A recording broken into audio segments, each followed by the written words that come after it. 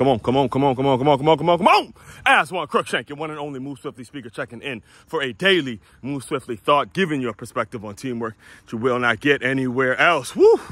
It's a blessing. It's a blessing. It's a blessing. Every time you see it, time you see it, this is what I do when the, well, it's always like that, but whenever you get the opportunity to see how beautiful that sunrise actually is, you do not take it for granted. Pointed out quite frequently on this show, especially on mornings like this when I'm I'm catching my run schedule just happens to match up right when that sunrise is coming up. I do not take that for granted. Man, oh man, how lovely that is to know, hey, got another opportunity, got another opportunity to be great, got another opportunity to do something significant. You got another opportunity, an opportunity that is not promised and you cannot take that for granted, all right? As far as today's Move Swiftly felt, let me address, let, let me address this brand new ruling that has come down with the, regards to the NCAA. I believe the official announcement is that it's a well, it's been called a historic day, seeing that the whole concept, the idea of amateurism and playing for your school and you know receiving a quality education while you're playing in college and all that that's officially over all right this new ruling in which has allowed it's a settlement that the ncaa has finally come to in which the schools are they're part of the shared revenue and schools are allowed to actually pay their athletes. Again i'm, I'm going to address this but when i say schools i mean specifically schools in the power five conferences which is a which is which is the issue with the ruling but i'll get into that in a second all right? Let me just get through what actually got reported. So in the power five conferences they are allowed to pay their players directly or pay their athletes directly from the school. And it has, you know, it's been a long time coming and there's many aspects of this in which I'm happy about. To be honest with you, I am happy that again, schools are getting on board because, you know, look, the, the athletes deserve to be compensated for their work. I don't necessarily believe that it's fair for them to be doing the putting in the hours that they put in generating the revenue that they generate for the university and not be able to go out and compensate themselves, whether it be through paid internships, whether it be through getting a job. Every other student on campus is allowed to get jobs. You know, every other scholarship student is allowed to get work study programs, all that kind of stuff. So something like that, I'm very in, much in favor of. Here was the issue. It's just um, a, the issue with the ruling and the problem with the ruling is it's just a matter of the rich getting richer and the poor the getting poorer. Like the schools I played for, the Division Two program and the FCS program that I played for, the girls sports, that uh, Olympic sports, the, the sports that don't get hundreds and thousands of people showing up at a game that doesn't that's not on TV or anything like that. Though there's only a matter of time before those sports and those programs are going to cease and desist. All right, and that's just the reality of the situation.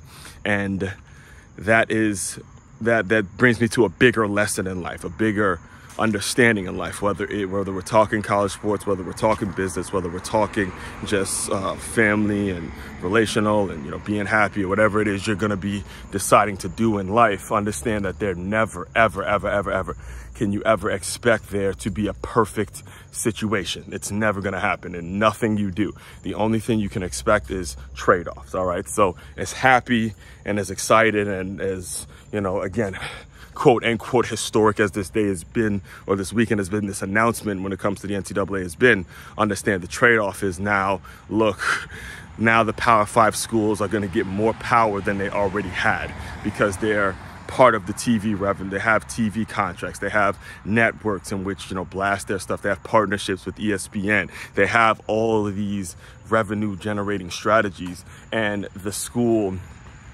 the school is going to be able to pay players directly, plus what the players can go out and get in regards to NIL and all that stuff. The only thing that has actually happened, to be honest with you, in my opinion, is that this ruling has done something to control the, the mess that the transfer portal has created, right? Because the real issue wasn't necessarily NIL per se, you know, it was a problem, but the issue was the transfer portal. The issue was these guys jumping in and out of the transfer portal because somebody who wasn't a part of the university wasn't necessarily working for the, the, the money that they were being offered wasn't coming from the university. Now that the money is being offered is coming from the university, they can control who stays, they can create contracts, they can create situations in which it's going to require athletes to stay for a specific amount of time. There's incentives that the school can create as opposed to the businesses that they do deals with. There, they have their agenda when they do a, a, an NIL deal. Like myself, I have my own agenda when I do NIL deals with athletes.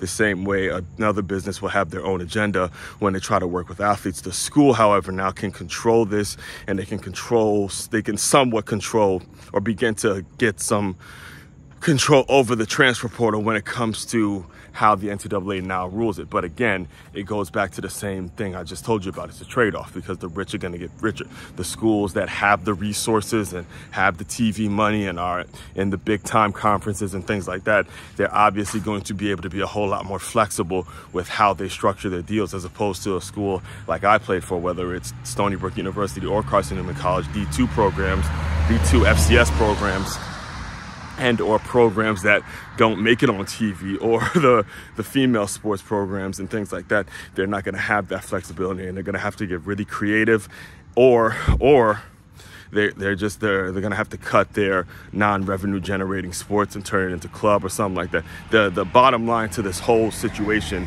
is it leaves not only myself but it leaves everyone with more questions than answers. And whenever you're coming up with a ruling whenever there's a lawsuit whenever there's a situation where a decision got to be made you should be always working towards leaving people with more answers than questions. But this ruling is more so creating more question than it is eh, questions than it is answers. So understand it. Again I, I, like I told you yesterday, paying attention to sports gives you a clear indicator on how you should be able to run your business, some of the do's and do not, some of the things that you should be doing and some of the things that you should not be doing. All of that stuff happens when you really pay attention to what's going on in the sports world because it represents so much of, it represents so much of what our society values in regards to teamwork, in regards to working together, in regards to people just coming together for a common goal. And again, it's it's a great, it's an activity that builds confidence and creates opportunities for young people to to develop and see what their work ethic is all about. All right, so that's really much my thoughts on it, and I'll have have a whole lot more as rulings come out, as things start to come out, and as we get we getting closer. Days we're getting closer, baby. We're getting closer to our college football season, college football, football, all that stuff is coming back. You know, I just I just hope what I hope again, what I hope is that it doesn't turn, it doesn't turn college football Saturdays into Sundays. That's what I'm praying doesn't happen. However, it does feel like it's going in that direction, but we'll see how things go. All right. Main website to check out to dive deeper into all my work makeyamove.com. That's M A K E Y A M O V E.com. One stop shop for your teamwork and your self development needs. Aswand Cruickshank, your one and only Move Swiftly speaker checking out. You guys continue to move swiftly. We will talk more soon.